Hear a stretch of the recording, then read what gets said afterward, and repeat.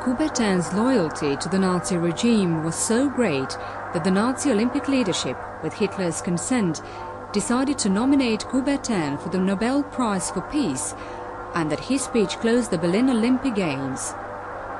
Here follows Coubertin's Olympic speech. Keep watch on the sacred flame.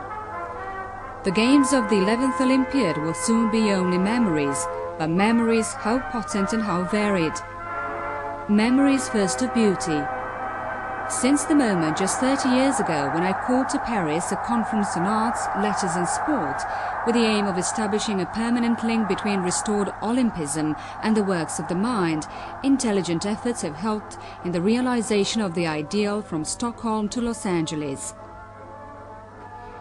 Now Berlin has consecrated it forever, with daring innovations crowned with complete success, such as the relaying of the sacred torch from Olympia and also the magnificent festival in the monumental stadium on the first evening of the Games. Both of these projects conceived by my genial and enthusiastic friend Carl Diem.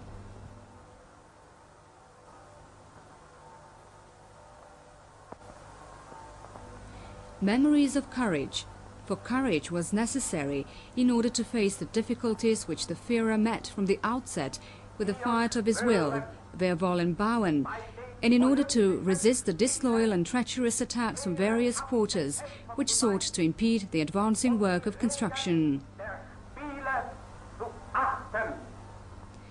Memories lastly of hope, for under the aegis of the symbolic five-inch flag there have been forged muscular understandings stronger than death itself.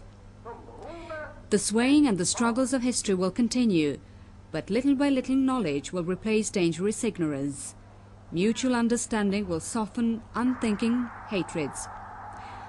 Thus the edifice at which I have laboured for half a century will be strengthened. May the German people and their head be thanked for what they have just accomplished. And you athletes, remember the sun-kindled fire which has come to you from Olympia to lighten and warm our epoch. Guard it jealously in the depths of your being in order that it may leap up again on the other side of the world for years hence when you celebrate the 11th Olympiad on the far shores of the great Pacific Ocean.